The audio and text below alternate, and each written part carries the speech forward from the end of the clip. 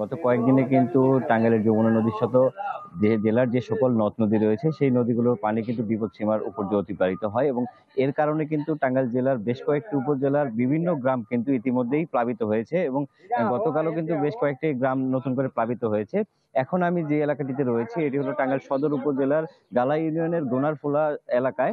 এই ফোলার গোনা সরকারি প্রাথমিক বিদ্যালয়ের পাশে যে আমি রয়েছি, এখানে আপনি দেখতে পাচ্ছেন এখানকার মানুষজনের কিন্তু চলাচলের একমাত্র মাধ্যম হয়ে দাঁড়িয়েছে এখন এই নৌকা এবং কলা গাছ দিয়ে বানানো বিশেষ ধরনের এই একটি চলাচলের জন্য পানিতে চলাচলের জন্য যেটিকে বলা হয় গ্রাম্য ভাষায় নগদের কাছে সব গ্রাহকই প্রিয় তাই তো সারা দেশে ক্যাশ আউট চার্জ সবচেয়ে কম।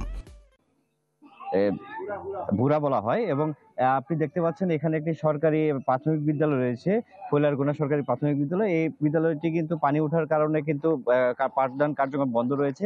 এছাড়াও আমি এখানকার স্থানীয় যারা জনসাধারণ রয়েছেন, যারা নিম্নবিত্ত পরিবার রয়েছেন, তাদের সাথে কথা বলেছি। তারা জানিয়েছেন গত কয়েকদিন ধরে তাদের এই এলাকায় প্রচুর পানি বাড়ির সামনে, ঘরে এবং আশেপাশে প্রচুর পরিমাণে পানি উঠে যায়, যে কারণে কিন্তু তারা খুবই দুর্ভোগের মধ্যে দিন কাটাচ্ছেন।